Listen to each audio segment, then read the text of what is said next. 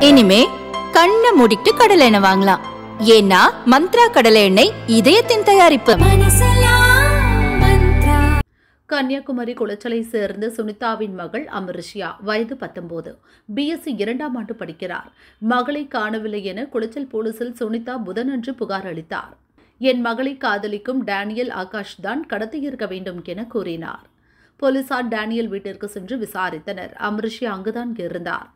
என்னை யாரும் கடத்தவில்லை. காதலை கைவிட சொல்லி கல்வுப்பு மீது முட்டி போட வைத்து அம்மா கொடுமைப்படுத்தினார். அதனால்தான் ஓடி வந்து விட்டேன் என்றார் அமரிஷியா. வீட்டுல வந்து நான் வீட்டுல லவ் மேட்டர் மாட்டிட்டு என் நல்லா அடிச்சுட்டாங்க. இதுக்கு முன்னாடி அப்படிதான் மாப்பிச்சு அப்படினால நல்லா போட்டு அடிச்சுட்டாங்க. எனக்கு நேரத்துக்கு உப்புல போட்டு முட்டாங்கால் போட்டுச்சு ரொம்ப அடிச்சுட்டாங்க. தாங்க முடியல. அதனாலதான் நான் எங்க வீட்டுக்கு வரேன் நான் வந்து இவங்களும் கூட தெரியாது. ஆனா வீட்டுல வந்தோடனே இவங்க அம்மா வந்து போன் பண்ணி சொல்லிட்டாங்க. உங்க மகன் வந்து இங்க வந்துட்டா அப்படின்னு. வந்த அப்புறம் என்ன வந்து கூப்பிட்டாங்க நீ வா அப்படின்னு. நான் சொன்னேன் நான் வரமாட்டேன் அப்படின்னு. வரமாட்டேன்னு சொன்னோன்னே முடியெல்லாம் பிடிச்சி இழுத்துட்டு தர தர இழுத்துட்டு போனாங்க காலையும் கையும் பிடிச்சிட்டு. அதுக்கப்புறம் அவங்க சொன்னாங்க இங்க வந்தாச்சு நீங்க எதுக்கு அப்படி கூப்பிட்டு போறீங்க? அவர் சம்மதம் பண்ணா நீங்க கூட்டிட்டு போங்க அப்படின்னு. அதுக்கப்புறம் அவங்க போயிட்டாங்க.